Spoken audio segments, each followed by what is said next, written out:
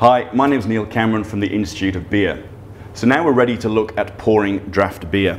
Uh, a couple of things before we start. When handling the beer tap, it's important to keep your hand down the bottom of the tap. Particularly with these larger, newer taps, there's a lot of leverage which if you hold them at the top, you can actually do some damage to what is quite a delicate mechanism in the beer tap. So hold the tap down towards the bottom. That'll still give you plenty of control when you're pouring the beer.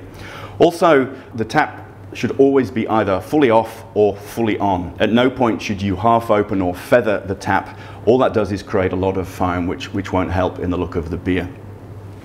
The other thing to take into account is you as the server are the last point that the beer touches before you give it to the customer. So it's a very important process in pouring a good looking beer for the customer to enjoy. Now, the most important factor of that is a good head on the beer. And contrary to how most people pour beer, the best foam is actually created when you initially start pouring the beer. Most people tend to pour quite gradually and then go more aggressively towards the end.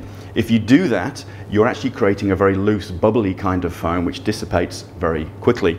So when you're pouring beer, initially you want to pour into the bottom of the glass where the bottom actually meets the side pour in quite aggressively, and then as the glass fills, as you pour it, you're pouring the stream of beer where the foam meets the glass. And what happens there, you're actually rolling over that foam. It's a process called crusting, and that creates a more dense, longer lasting foam, which is more attractive to the customer. So we'll go ahead and pour. We need a beer clean glass.